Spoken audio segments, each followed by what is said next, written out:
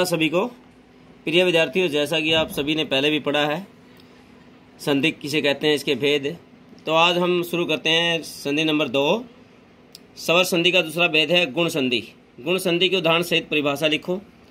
जब ए या आ के सामने, या इनके बाद, ई या बड़ी ई आ जाए तो ई या ई के स्थान पर ए हो जाता है।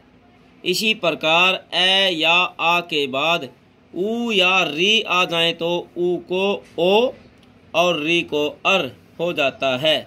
जैसे नर प्लस इंद्र, नरेंद्र। गण प्लस ईश, गणेश। महा प्लस ईश, महेश। लोम प्लस ईश, लोमेश। महा प्लस उत्सव। आ के बाद ऊ है। ओ में बदल गया महोत्सव।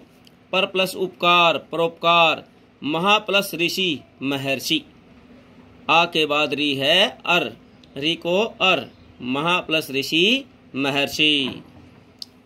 नंबर तीन, वृद्धि संधि।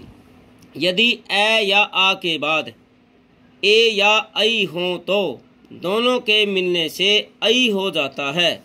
जैसे एक प्लस एक एकैक, सदा प्लस ए सदैव। यदि नंबर दो यदि ए या आ के बाद ओ औ हो तो दोनों के मेल से औ हो जाता है, जैसे जल प्लस ओग, जलौग, महा प्लस औषधि, महौषधि, वन प्लस औषधि, वन औषधि इत्यादि।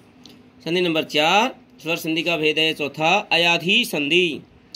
ए, ओ आई औ से परे यदि कोई भी जातीय स्वर, भिन्न जाति का स्वर आ जाए तो ए के स्थान पर अय आई के स्थान पर आय औ के स्थान पर अव और औ के स्थान पर आव हो जाता है। जैसे ने प्लस अन, ने ए के बाद ए है तो अय नयन, गई प्लस अक, गई, आई के बाद भिन्न स्वर है ए तो गायक, पो प्लस अन, पवन। इसी प्रकार पौ प्लस अक, पावक पावक भाव प्लस उक जैसे भावुक इत्यादि। यण संधि, हर स्वर हर्ष स्वर या दीर्घ स्वर।